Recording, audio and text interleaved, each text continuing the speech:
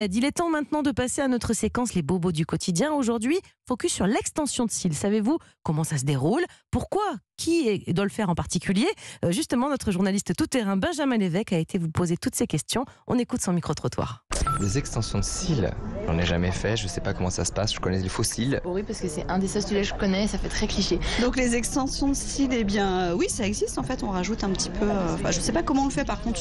C'est une espèce de colle. euh, Voilà, quand des personnes en ont très peu et qu'elles veulent un petit peu euh, étoffer les choses. Ah, donc en fait c'est collé aux cils et ça reste de manière permanente des gens qui, euh, qui ont été grand brûlés, enfin des choses comme ça. Je pense euh, notamment des gens qui ont plus de cils. Mais ça peut être aussi des personnes qui ont eu des maladies, des cancers et qui du coup ont perdu. Donc ça peut être euh, une bonne reconstruction euh, pour eux. Et puis c'est surtout que c'est important d'avoir des cils parce que du coup ça protège quand même euh, au niveau de, de certains microbes en fait qu'on pourrait attraper au niveau des yeux. Je pense à des conjonctivites ou des choses comme ça en fait. C'est que médical ou c'est que pour la beauté? Je sais pas, sinon les drag queens en mettent. Allez, on a entendu un peu de tout. Certains ont parlé de fossiles. Je crois que c'est pas tout à fait pareil. Et justement, on a été posé la question à une spécialiste en esthétique, c'est Maud Ravier, la fondatrice de Maud Dermo-Esthétique. On l'écoute. Alors la différence avec les fossiles, c'est que euh, quand vous mettez des fossiles, c'est toute la bande de cils et vous devez la retirer tous les soirs. On colle sur votre ligne de cils. Alors que les extensions de cils, vous avez trois techniques. La première technique qui est extrêmement naturelle, c'est de poser un cil par un cil. Donc vraiment, on est sur du naturel et du long terme. Ensuite, vous avez la deuxième technique qui s'appelle hybride, où là, vous avez moitié des cils à cils ou parfois trois cils en un cil.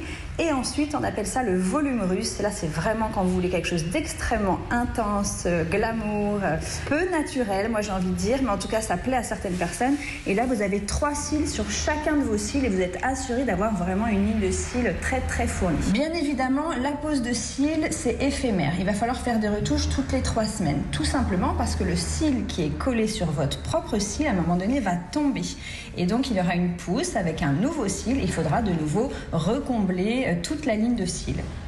Alors Jimmy, puisque vous êtes euh, très très fort dans ces sujets beauté, ça on le sait, en tout cas je sais que vous avez travaillé, il y a quand même des précautions à prendre quand on se fait poser des, des- des cils comme ça, extension de cils.